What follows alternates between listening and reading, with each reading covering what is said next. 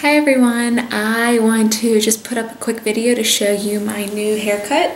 Um, I'm still messing with it, it's really short, but I thought I would stick it up kind of funky today. Um, and yeah, again, like I said in my other videos, I have really thick hair, so it's hard to get it to uh, not look fluffy. Uh, that's what I'm working on. So hopefully in my next video, I can show you how I fix it. Um, I just wanted to show you the new cut pretty short. See?